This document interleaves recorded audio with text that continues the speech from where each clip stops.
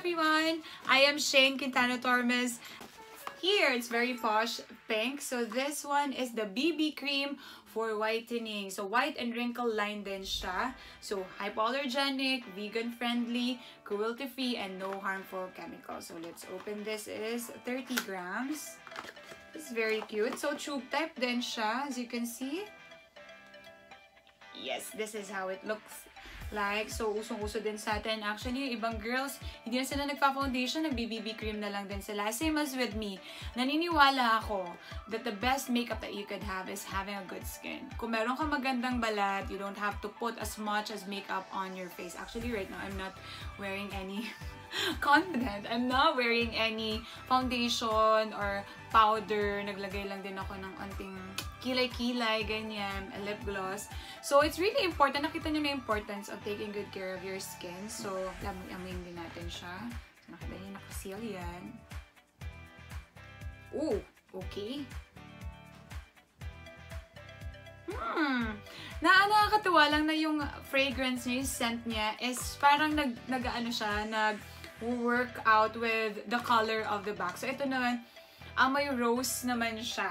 So, maybe because it's pink. Very girly yung amoy niya. So, I'm very much excited also to use this. Actually, lahat to gagamitin ko talaga. This will be very helpful sa job ko and everything that, and every day that I do in life. Up next, let's go with this one. This is the cleansing foam. So, this is also for acne and whitening line. This is also a face care system for acne and all skin types. So, hypoallergenic, vegan-friendly, cruelty-free, and no harmful chemicals. So, this is how it looks like. Hope that you can see it. And then, this is 50 grams. So, let's open it. It's also tube type. So, same as, this is very safe to use para sa lahat ng skin types. I'm very much happy.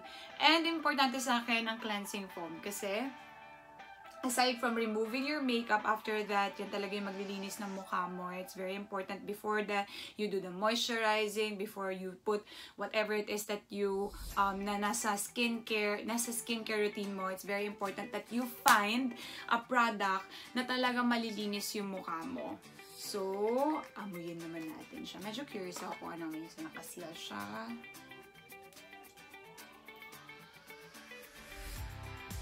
Aqua din ang amoy nito. Diba? Sabi, nakakatuwa because it incorporates with the color of the boxes and the color of the tube. So, ito naman aqua yung very, very, ano siya, refreshing and cooling yung amoy niya. So, we're done with, this is the fourth product that we have here in front of me.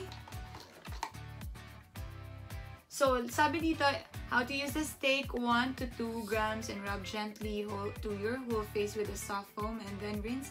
So, that's just, just the normal thing that we use for meron cleansing foam. So, whoo, this, I think this is the first thing that I will use. I think I already uh, opened four products. So, this is the fifth product that I have here is the Intense Whitening Cream. So, as you can see, that is the outer package. And then it is 50 grams. So when you open it, it's also tube. And as indicated, it's also hypoallergenic, vegan-friendly, cruelty-free, and no harmful chemicals. So I'm really happy. I'm really happy of all these products talaga. So, this is also face care system for all skin types. So, definitely safe para sa mga oily and dry skin types na mga uh, women and men. And what I really love also, kasi what I love about Lurleran is their support and love that they give yung products nila to uh, diverse beauty of women and men.